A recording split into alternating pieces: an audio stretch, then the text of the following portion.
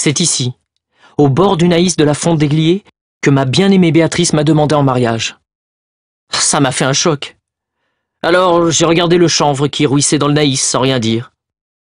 Bah oui, les moines du monastère de Notre-Dame de Calme venaient de me proposer de devenir l'un des leurs. Et j'avais accepté. Je ne pourrais donc pas épouser mamie. Je vois que le naïs, lui, est toujours là. Le naïs, c'est un réservoir d'eau. On le construit près d'un cours d'eau ou d'une source, détourné le temps de creuser.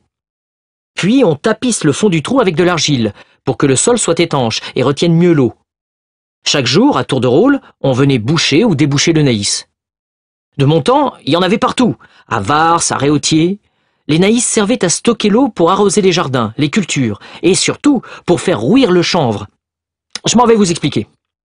Depuis la nuit des temps et jusqu'au XXe siècle, on a fabriqué du tissu avec le chanvre, une plante faite de fibres, de longs filaments qui peuvent être transformés en fils. Avant, chaque famille cultivait son chanvre.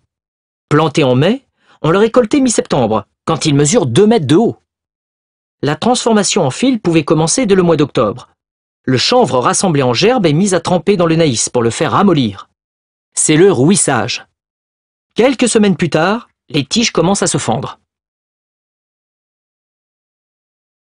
Avec une broie, on casse les tiges ramollies, ce qui permet de séparer celles-ci de leur enveloppe extérieure. Ce sont les fibres de l'enveloppe extérieure qui vont servir à faire du fil. Les fibres séparées des tiges forment une sorte de filasse de 70 à 80 cm de long. Plusieurs poignées de filasse sont nouées ensemble pour faire une queue de chanvre. Pendant les longues veillées d'hiver, la transformation continue. Le peignage sert à régulariser les queues de chanvre et à conserver les fibres les plus longues.